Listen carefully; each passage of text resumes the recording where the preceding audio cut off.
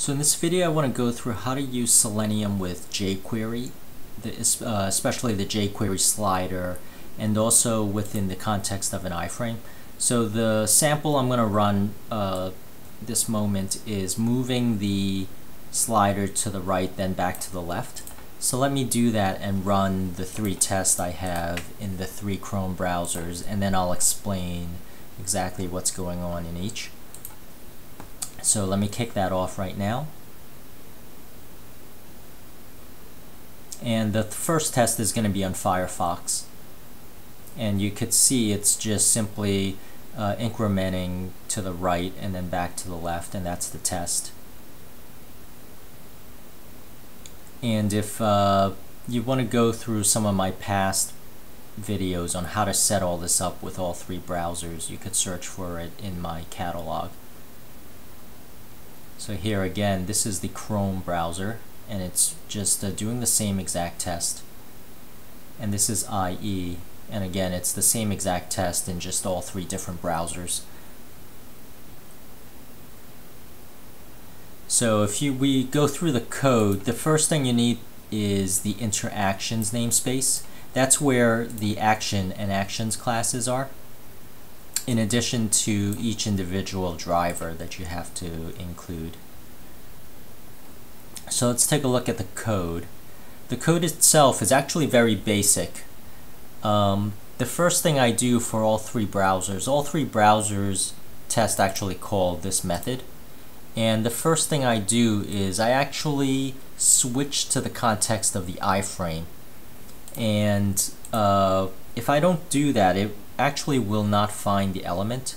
So the way I did that was I went into Chrome and I went into the debug window which is um, or the developers tools uh, which is uh, hitting F F12 and if I hover over the magnifying glass and to the element that I want it'll locate it and as you can see it's actually just an anchor without an ID the ID is actually within the div above.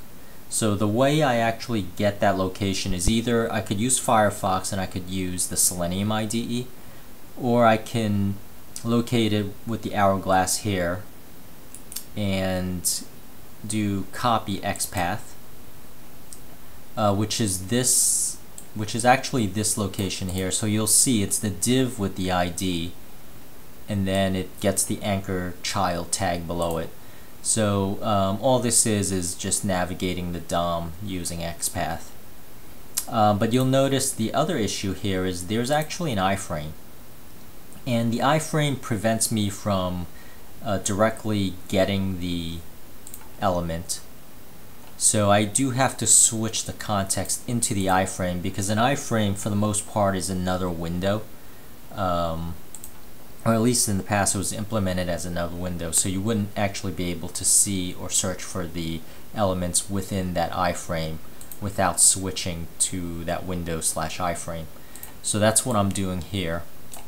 And after I get the element via the XPath and navigating through the DOM using this expression, I actually do go into my method here, which uses the actions class and um, here what it's doing is simply instantiating the actions class and doing a chain of actions. So there's actually three actions here. One is actually holding, clicking and holding this widget here.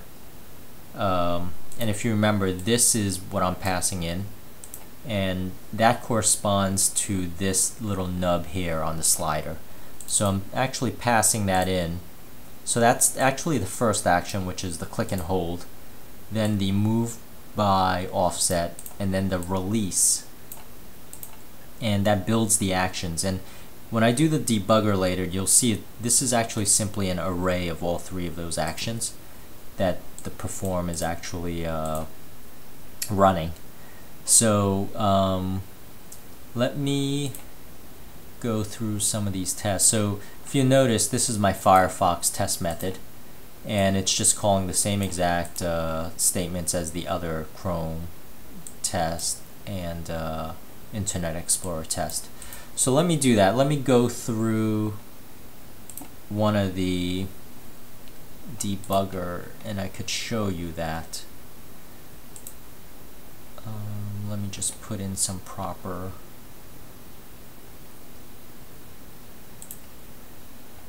some proper uh, breakpoints here.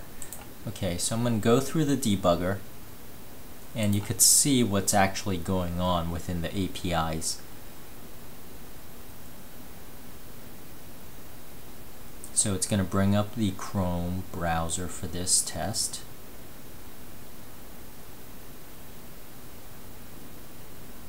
And I'm actually going to step into the test.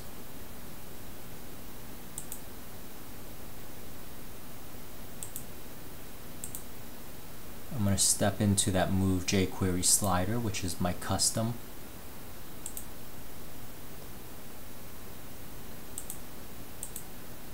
So you'll see here this actions object consists of an array of all three of those actions. So that's really what it's doing here and let me just run it. So it's just gonna, I'm just gonna uh, hit continue and it's just gonna run the left, left, uh, the right, moving it to the right and moving it to the left.